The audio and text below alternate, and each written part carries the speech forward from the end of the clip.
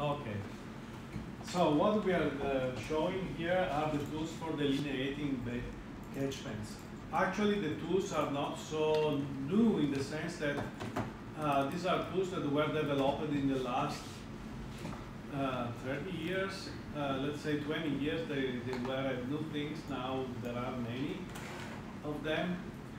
Actually, they derive from um, a set of tools I did for my PhD thesis.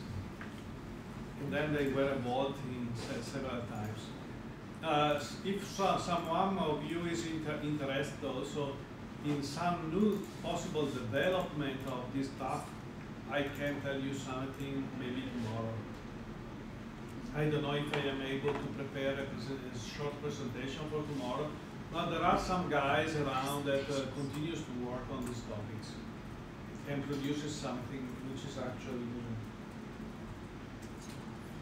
Okay, when I talk to my students to these topics, I used to cite this uh, Borges. Uh, Borges. Uh, Borges is a, a Argentinian uh, um, novelist, and uh, he, he, he, wrote a novel called The Exactitude of Science, uh, where they say that in China they were trying to reproduce perfectly the, with images the maps of, uh, of, uh, of, of, the country.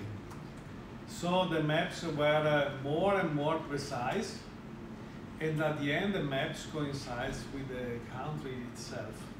So it, at the end, and uh, this is uh, the entire city, the entire was reproduced by maps. So maps are simplification of reality actually not like like this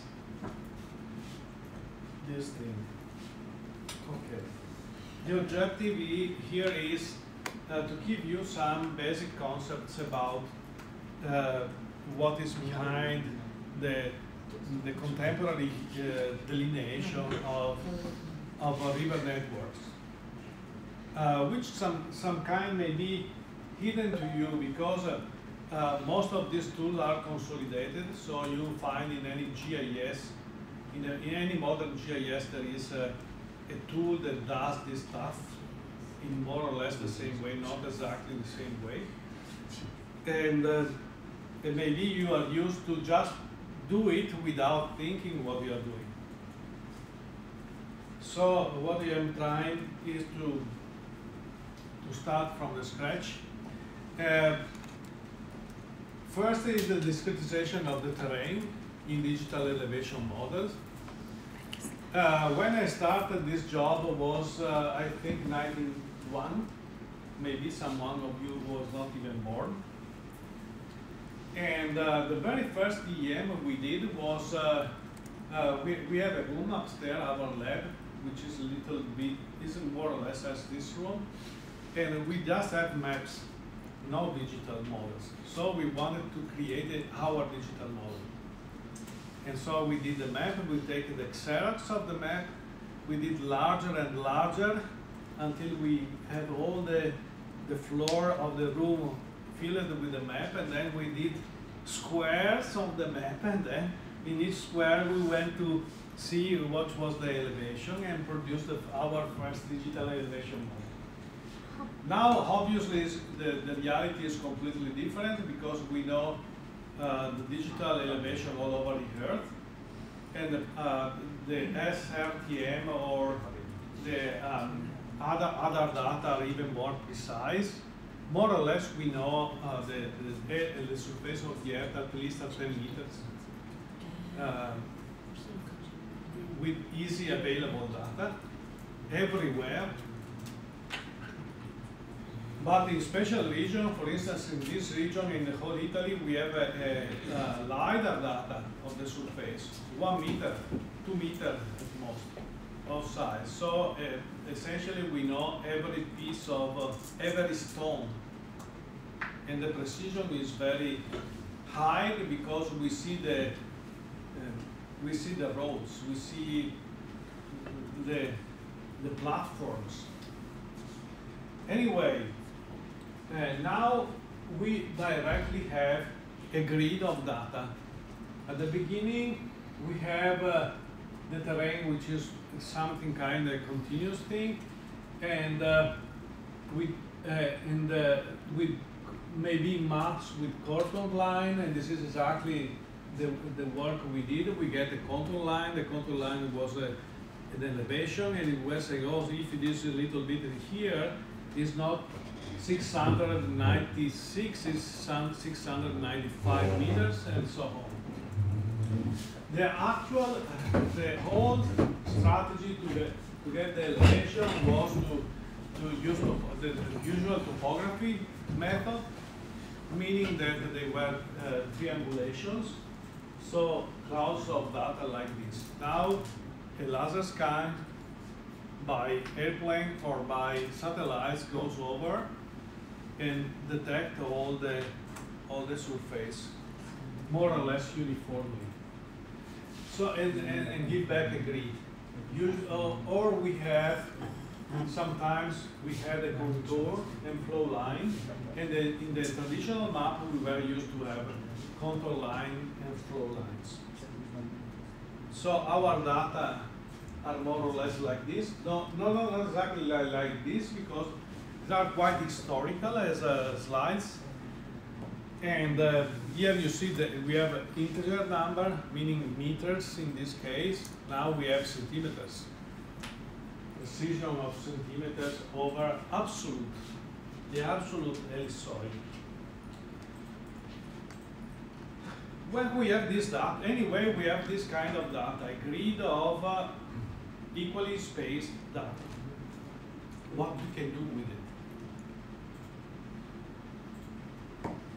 We can first derive the primary uh, attributes, meaning we can apply some um, differential geometry. The altitude or elevation, as I call it, the slope and the curvature. And how are they uh, selected? But the, the altitude, obviously you have uh, you think that the landscape is just a function of a position. Usually the position is, given in two coordinates, x and y, met, metric coordinates, but also longitude and latitude sometimes.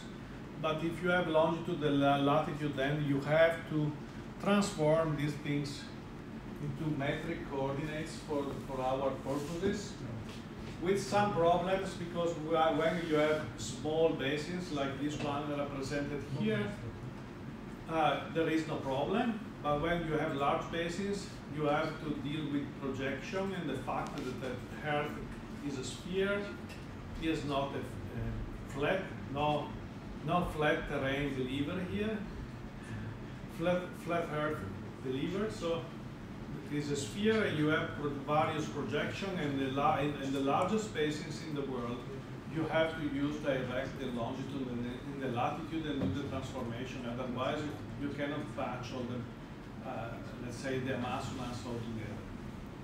And have the right areas and the right indications. You can represent altitude in different ways. You usually use a system called a GIS, Geographic Information System, which is both a visualization system and a way to manage the data that stands behind the visualization. And this is a, a usual representation. Actually, here you see also the, the, the river network. But uh, to know how the river network is uh, extracted is not trivial at all. You have to decide where the channel begins, for instance, or if, it, if the channels are a, a thing that is uh, fixed, which is not. Or you can represent, uh, that was a direct representation of a digital elevation model with the GIS. This is a representation with contour lines. The GIS uh, here was unique. There was a a, a GIS which Silvian and his colleague of hydrologists developed, really developed this, this GIS. Now it's still existing, but is kind of an incubator of in, uh, in a, it's still alive. but we are not using anymore, let's say. When you have elevation, the first thing you can do is you do statistics. Who is the the uh, statistic statistics lover here? Uh, for instance, this is uh, uh, the uh, the statistics of this catchment was and it's really written Meledrio, which is actually Meledrio is a sh- uh, small basin here, uh, 100 kilometers from here, but uh, the, the, the statistic is the, the entire Val di Sole. And you see we have put three, more than 3,500 meters. The, the smallest one is 800 meters.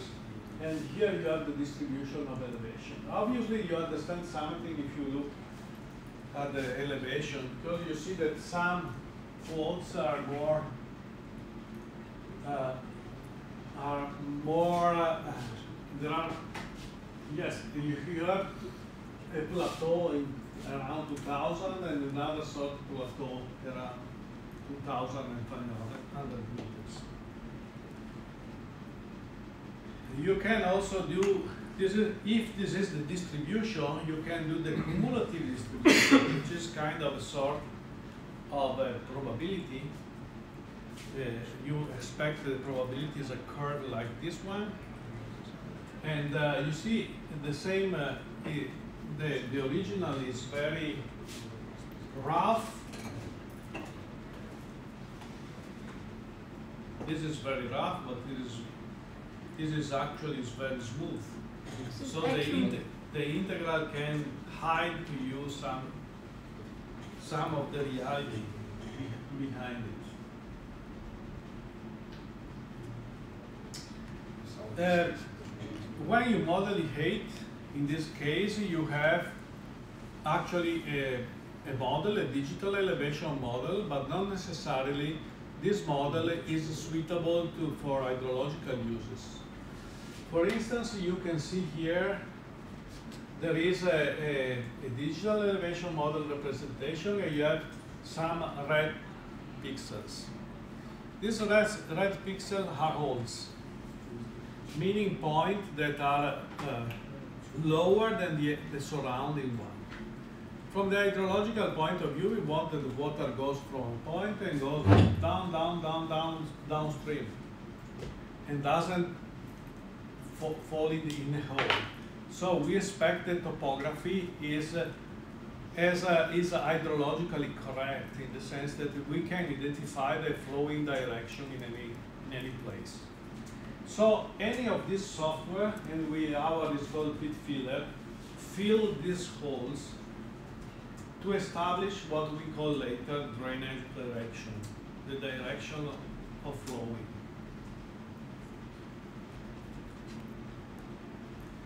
Anyway, before go, to go to the, the flowing direction, we talk not, not only of elevation but also of slopes or gradients and uh, which is the first derivative of the of the elevation. So nothing particularly complicated. We have a zeta z, which is a function of x and y. We take the, deri- the derivatives in y and x, and uh, the derivatives are two components of a vector we call the gradient of it. Actually, we the gradient we are interested in is in the reverse sense because the gradient goes from top to uh, from bottom to top, and we we we went the other way around. But usually we split this concept when we are talking of these things in, in two parts.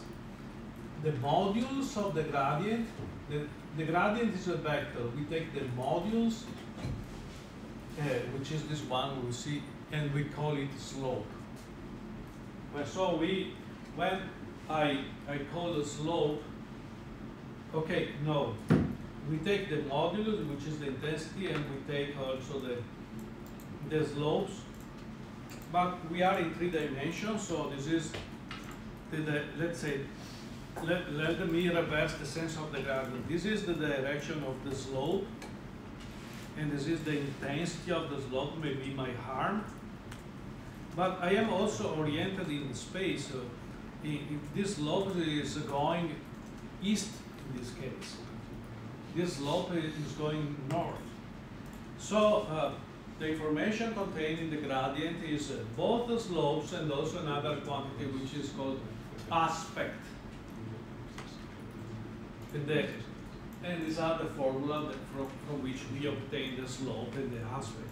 And these quantities are easy to, to uh, be estimated with the finite difference. And uh, as in the previous case of elevation, we are able to, to estimate the statistics. For instance, we have the slopes and the probability of slope. I didn't plot the distribution of, uh, of aspects, but uh, that would be another interesting information though. And as you see here, there is a preferential slope. Here actually the, the ab- abscissa is not particularly uh, particularly uh, significant because uh, you see this number, you are able you are able to understand the slope in terms of, of uh, degree, not in terms of uh, absolute values. Here are uh, radians, tri- tri- trigonometric radians. But that's the case. What happens if you uh, represent the slopes on the same map? Where before we represented the, the, the elevation. You see that some uh, particular features are appearing. For instance, here on top, you have uh, you have slow, uh, slow, uh, smaller slopes, and here you have higher slopes. Uh, for your convenience, I also uh, draw the uh, river network that we don't know how to identify yet. And so we say that the river here is, the biggest slope is close to the river, meaning that the river is in a canyon. Is, uh, we, even from the image from this one, as this one, we, we are able to get information about the processes because uh, if the river is excavating, probably this will be, uh, uh, the, the, the bed of the river will be on bedrock. And uh, say something of the, on the relative between the climate and the erosion capability because if the climate is humid, a lot of soil is produced. And if a lot of soil is produced, this is taken away from the hillslope and brought into the channels and transported into the channels. But then the water has no power to transport any more uh, sediment and so cannot be ero- cannot erode. Here the climate is in a sense dry with respect to the to the uh, to what is happening here because we have not much uh, sediment production here, such that in this place here we the water still have power for erosion and the Then there should be other consideration to do because for sure this is in a, in the glacial, glacial position, this uh, this thing. And so we have a strong inheritance of the past where there were the glaciers on, on top of it. That is another argument. We saw also here a strange thing, we have flat, a flat area. Flat area can be an artifact, can be a lake, can be something else.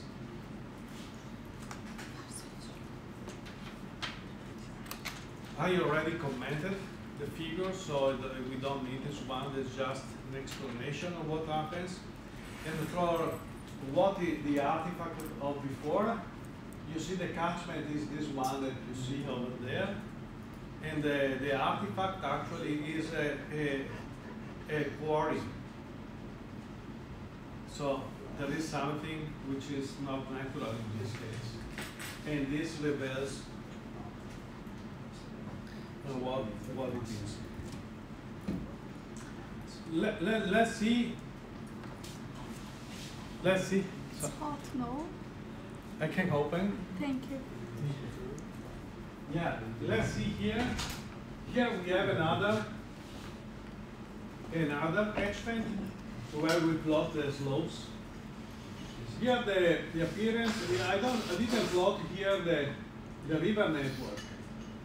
But you can imagine that the river network is in the place where uh, is on the bottom, and you see here the, the a completely reverse landscape. Here, the maximum of slope is close, is outside the network, is on top of the basin. And in fact, if you go to see here, this is the catchment. There are dolomites. You have the sm- smoothest area down there.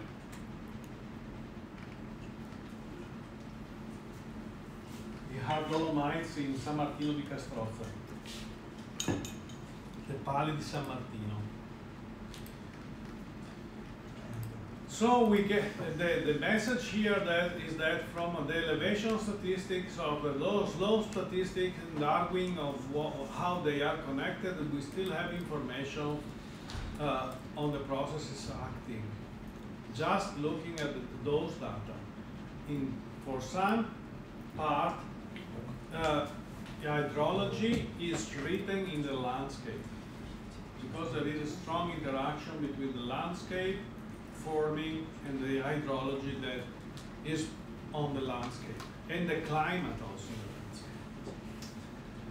The third thing that I was mentioning was uh, the curvature. What is the curvature? Here we have a straight segment, not curvature. Concave and convex. So Concave and I will arrive there. This is a curvature. Okay, this is a curve. To have a curvature, first you need to have a curve. And the, the curve that is not straight has some curvature. You, you can have vertical and planar curvature. Because you, you see, if you see the line in 3D, you have a curvature in this direction and also a curvature in this direction. So you have a planar curvature like there and, uh, a vertical curvature like this one. Uh, this one, like a parabola, upward parabola, is negative curvature. This is a positive curvature. Depending, think to the parabola, and this is closed zero curvature.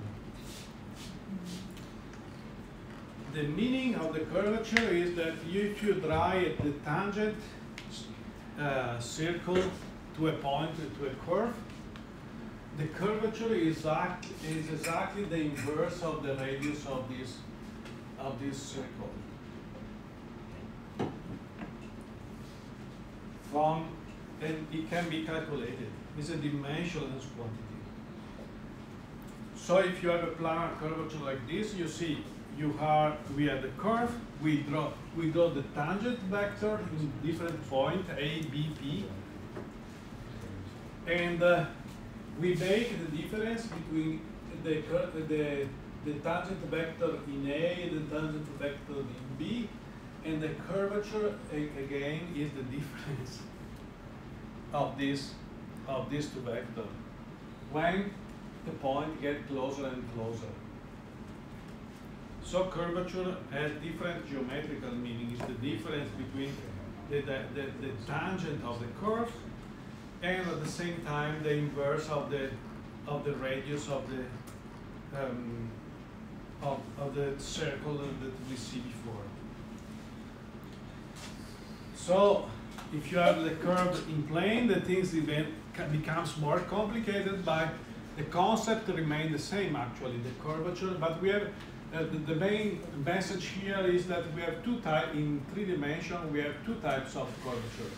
One is uh, let's say more the vertical curvature, and another is the planar curvature. And so here we, there is a scheme of how to estimate the curvature. For the planar curvature, so what happens with the landscape? I, I told you that curvature is something connected to curves, not surfaces. Actually, you have also the curvature of the surface because Gauss defined the curvature of a surface. But here, what, what you see depicted here is that you have a surface. But you see also the contour lines. When you uh, draw the contour lines here, and you, you have lines, and we, you can calculate the curvature of the contour lines. The curvature of the contour lines is the planar curvature. And we can do some calculation, and the formulation is the one that you see over there. Now it's not important in, in this few instants you remind the formula, but you just remind the concept. Planar curvature is the curvature of the, the of the contour lines. And here you have what you said before. Here you have negative, concave curvature, you have positive curvature. This is, quite important because if I ask you where the river network stands, you will say, oh, the river network stands here, not here. Because uh, in case the image that you have is not yet defined, but the ima- image you have of a river is that is something excavating and creating a concave type of morphology. So in the geometrical difference, differential form of the mountains is included water and erosion. We look at Mars where we have no water, we look at these shapes and we can tell that somewhere in some places there were water because those forms are absolutely related to the action of a, a liquid something that flows around. Maybe liquid methane in some cases, but it's a little bit different. So planar curvature. Now you can also say that uh, we this line here. What is this line? Is orthogonal to the. We we didn't draw here the the um, the contour line, but you can see the contour line can be this one, and this line is orthogonal to the to the contour line. Again, it is a line, and again we can estimate the curvature of this line again. The curvature of the lines orthogonal to the, the, the contour lines is the profile curvature. Even in this case, you have two type, two main types of curvature. You have negative curvature, which is convex this way, and positive curvature that is this way, concave. So a real landscape is the mix of uh, these cases. Uh, four cases and the inter intermediate cases, which is the planar curvature in, in, in all directions. Uh, positive here um, Upward. appears in this topic because of uh, water route. No, positive because it comes out from from the geometric uh, the differential ge- geometry. Let's think to a parabola. Mhm. The parabola has positive positive uh, parameters when it is going upward and negative parameters when it goes downward. The same applies here because essentially the coefficient of the parabola is uh, it is uh, approximated this one are an approximation of the correlated to the curvature.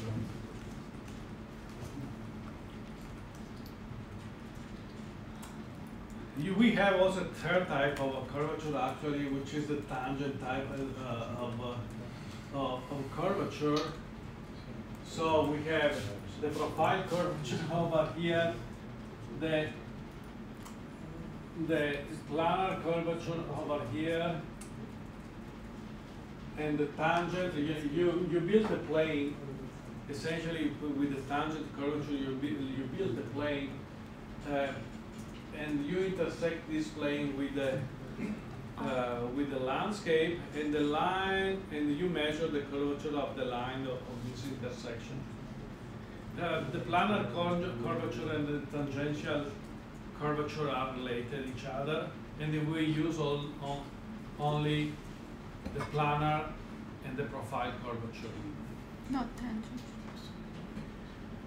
Uh, profile curvature are, you know, these are, this is a program by Moretti and Orlandini, two Italians. Actually, there, there are the contour lines. So we have a curvature of the contour lines, we have a curvature of the flow lines. Uh, as you see here, the, the, the contour line tends to be continuous line, and sometimes they are closed, like here, around the peak. Or you have a peak here, and these are divides, while the, the tangential are more, more complicated, they can merge here, which, which, which is quite, quite complicated from the point of view of a curve. When you think to a curve, you think not something branching, you think something continuous. Here you create something branching, so it's a little bit more complicated. Uh, you can see positive volume. Uh, so you expect to have valleys where? You expect to have valley, valley where you have negative curvature, well, you are con concave. And you expect to have hill slopes where you are convex curvature. Hill slope, river. Okay? River, you have the curvature here and you have the curvature here also. So, uh, again, the curvature tells a lot about the processes acting on the landscape. And uh, because they tell a lot uh, about the, landscape, you can use uh, slopes, curvature, and curvature to understand where the river stands. There is the planar curvature. You see actually that something come out from these images. It's not yet the river but is uh, uh, our mind that they use to connect the things even in wrong manner sometimes. Here, try to see the connection that form a, a branching structure that corresponds to a river. And we will use this information derived from slope and curvatures to extract the network later on the composition of the of the form actually produced nine shapes because we have this, which is parallel and planar actually. Parallel and planar uh, in the different direction, and then we have this other form. If you see this one is a conoid, fan, a fan, a place where uh, sediment is deposited other like this one are more or less, can be more or less places where you have a river, also linear type of formula like this one. You can combine in a landscape the curvatures to, to, to produce a, a landscape like this in, in this nine combination and you see that the landscape is pretty much outside is pretty much spotted you didn't believe so. Because actually, because here you have a, a, a small, the topography is, meaning is varying at all, uh, is less smooth that we uh, see with the eyes. That you have bumps everywhere. Due, for instance, to trees, to houses that here were taken away, and other things. But even in this case, you can recognize behind the structure of the river. So more or less, this is the information we will use. I think now we can stop here because I, because I see you tired and start tomorrow morning. We will start from here to uh, uh, to give you the information from which you can extract the river network. And the form of the river network then is the first basis to extract the catchments, and from the catchment we we will build the rest, of the processes for the catchment. Thank That's you. all.